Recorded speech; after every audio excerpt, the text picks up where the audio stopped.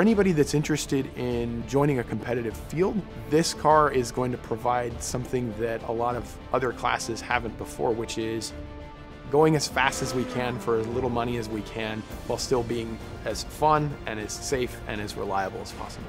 NASA identified a segment of the market that was untapped. Uh, this untapped market was a closed cockpit prototype style race car that would be an affordable spec series. This would be um, identically prepared car and it would allow a driver to shine instead of who spent the most money. This car really was designed with the intent that you could take it to the track yourself, you could work on it yourself, and you could race it yourself. There hasn't been anything before it that was designed around that intent.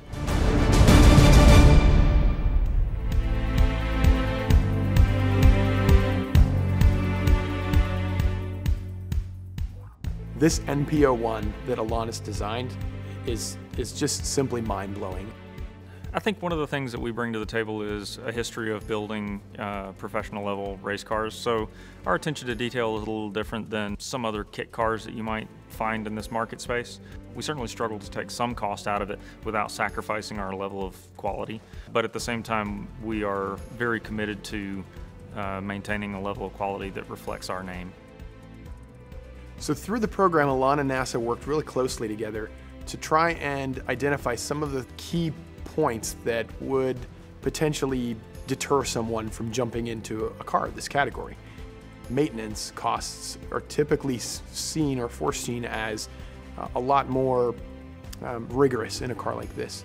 And really, we, we did a lot of work in the program itself to try and make sure that those things were taken care of as far as oversizing the brakes on the car. They're way oversized for a car of this weight. Again, because we don't want somebody to have to go through and redo the brake system all the time every weekend. We oversized most of the bearings in the car because we wanted the thing to be very user-friendly. This car was designed to run on the Toyo Proxes RR tire as a cost savings measure.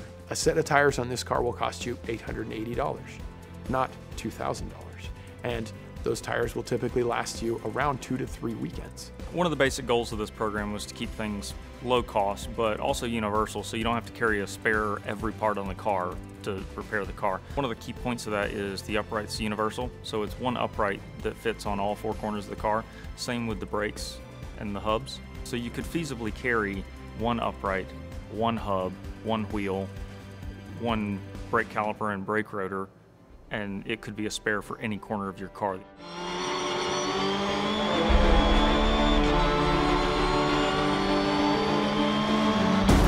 I've never driven anything that develops the level of grip, either lateral or into braking, on a DOT tire that this car does. When they step into this car and they turn a, a few corners and, and, and really start to warm the tires up, they're really blown away by the amount of grip that the car makes because it's just simply unbelievable.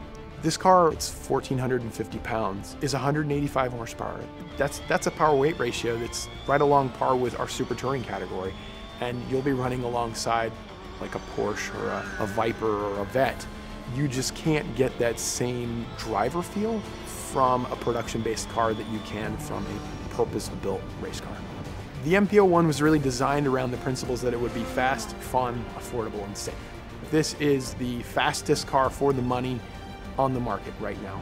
This car is super touring level performance for a fraction of the cost and really provides the end user with a better bang for buck as far as speed and reliability when you compare it to anything else on the market currently.